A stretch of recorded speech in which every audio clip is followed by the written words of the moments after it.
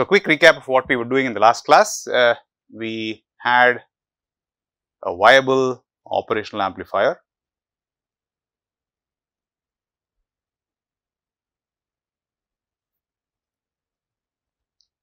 which basically consists of the differential pair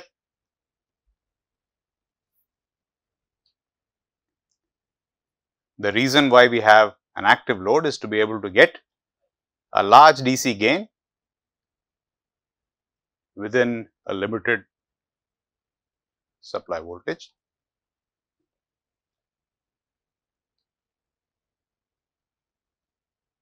Then a common source, second stage and some kind of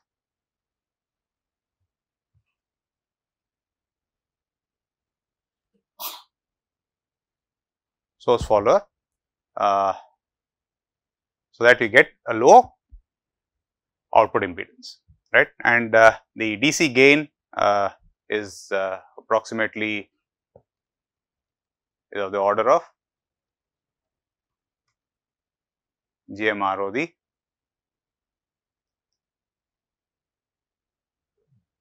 all right because that corresponds to two stages of gain. I mean when I say order of you know there are factors of 2 and 4 and missing so and so on. All right and uh, uh, more importantly we know why the circuit came about. It is not something that we just put on the board and say let us sit and analyze this, this is an op amp let us analyze it. Right? Uh, we know why each one of those components is there and uh, uh, we know the type why each type of transistor is used uh, um, where it is. Hmm? For the output stage it does not really matter whether we use NMOS or PMOS uh, you know uh, common uh, drain amplifiers. Okay. Now, uh, which is the positive terminal of the op amp? A or B? B is the positive terminal and uh, so, so let us say we put an input at B which is we also discussed yesterday the notion of and let us just take values for uh, for argument's sake, let's say, let's say this is 5 volts, let's say Vt is, is 1 volt and delta V for all transistors is, uh, is uh, say 200 millivolts. Uh, and uh, so, uh, let's but the input must be hovering around VDD by 2. So, this is 2.5 plus some A sine omega t that is the input all right and let us say uh, we connect it up as a source follower. So, this is the, the feedback path all right and so what we have in essence is a unity gain buffer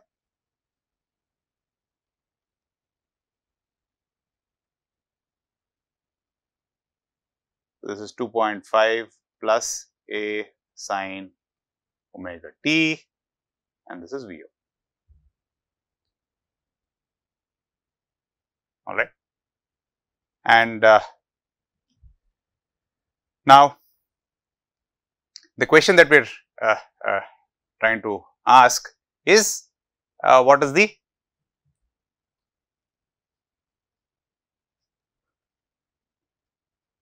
the largest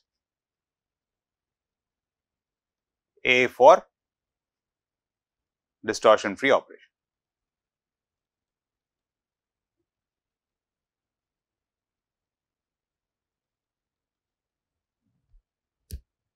All right. I mean, so the uh, and to to do that we uh, I guess have to replace these. Uh, how are we going to implement these current sources? What are we going to do? It must be NMOS current source.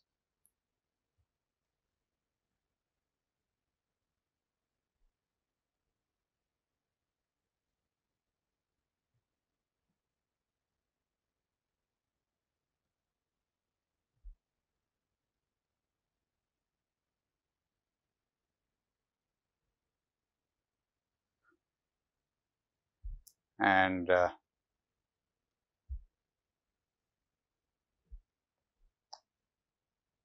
there is some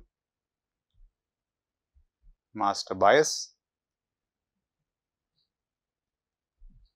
Some I naught and uh, let us assume that all the sizes are, uh, are uh, uh, what do you call?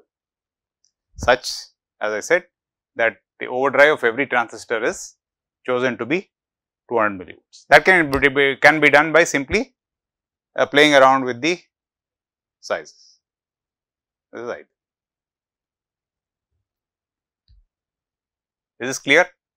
Alright, quickly let us go through the operating point. When A is 0, uh, what is the output voltage? Assuming GMRO is very large.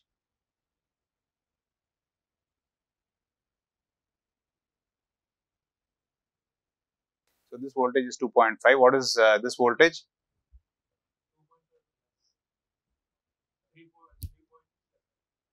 3.7 okay. What about uh, uh, uh, this voltage?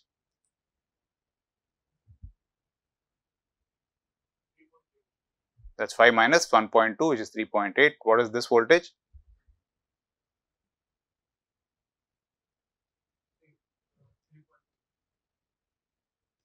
Three point eight. All right. What is this voltage?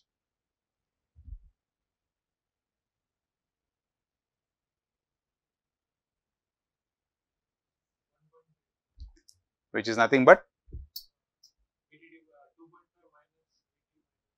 yeah uh, we this voltage is nothing but the gate voltage minus VGS and what is VGS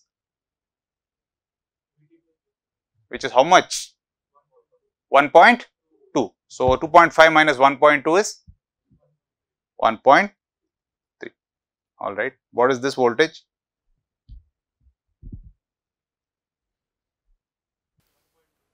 1 point. So, all the, uh, the quiescent voltages are known, right. The next thing is to find the swing limits. So, how many transistors are there here? The 10 transistors, alright. And uh, you know, uh, uh certainly it can look intimidating, but I mean, it, as you know, you know how everything comes about correct.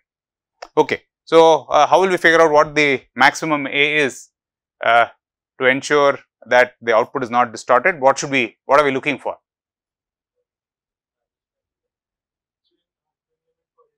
Yeah. So, swing limits for individual transistors and basically uh, you find the minimum for each transistor and then find the minimum of all the minimum, correct? It sounds like a daunting task, but as you will see going forward, it's it's not that uh, that difficult. So, uh, so, once we found the quiescent voltage, we, the next thing is to find the, the incremental voltages everywhere. So, uh, if this is A sin omega t, let me write mark all the incremental stuff in blue uh, or let me call this Vi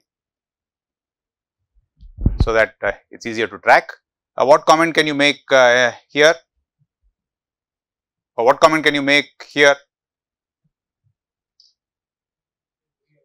Vi, alright. If this is Vi and this is Vi, what comment can you make there? Yeah, assume I mean for operating point and uh, you know uh, what do you call incremental voltage calculations, let us assume that RO is infinity. Okay, fine. What is the voltage on the left side of the differential pair? What is the voltage on the right side? Vi. What is the incremental current flowing uh, in uh, M1 and M2? Huh? As I said, let us assume that uh, the output resistance is infinite for all the transistors. Why? Why is it Vi? The claim is that this is Vi. Why is this Vi? Okay.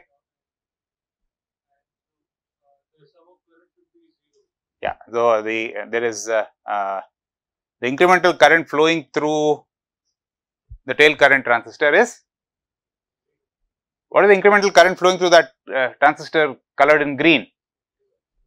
R naught is infinite, all right. So, if uh, you are still not able to figure it out, let us assume that that is Vx. So, the current flowing through incremental current flowing through M1 is nothing but Gm times Vi minus Vx which is the same as the current flowing through incremental current flowing through M2. So, twice that must be the current flowing through out of the common source node and that must be equal to 0 and therefore, Vi must be equal to Vx alright. So, this Vx is equal to Vi alright. So, uh, what comment can you make about the incremental voltage there?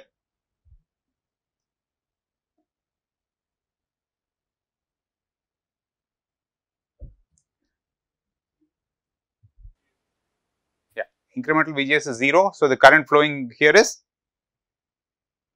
0. So, what comment can you make about the voltage there? Incremental voltage there is 0, alright, okay. Is this clear? Alright. Uh, what comment can we make about uh, the uh, the the incremental voltage here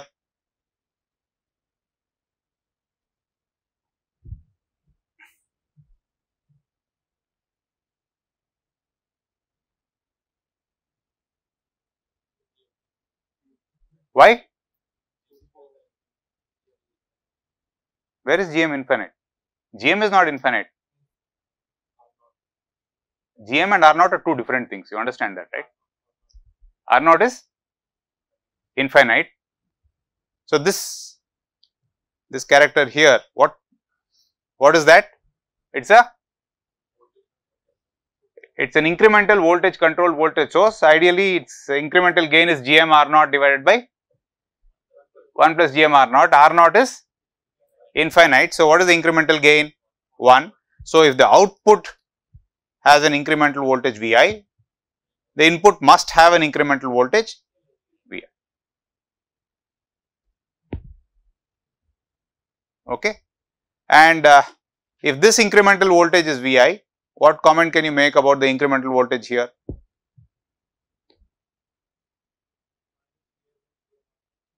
Minus Gi by Vi by? Okay. What is R naught? Huh? Okay. So, what is the incremental voltage here? The incremental voltage there is 0. Is this clear to everybody? That is because the incremental voltage, uh, uh, the gain from here to here is minus GM RO. We assume that RO is infinite. So, therefore, the gain is infinite. If the gain is infinite, it must follow that the incremental voltage at the input must be the output swing divided by output voltage divided by the gain. The gain is infinite. So, this must be 0. So, this uh, does not change alright. Okay. Now, uh, what about the incremental voltage there?